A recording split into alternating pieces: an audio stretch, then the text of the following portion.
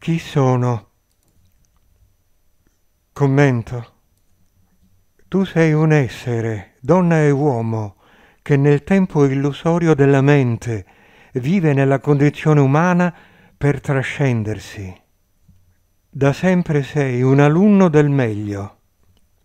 Consumando il tuo io che adesso ti affligge, comprenderai che non hai un'evoluzione, ma sei evoluzione, che arriva comunque perché è legge divina. Allora sentirai che da sempre sei nell'assoluto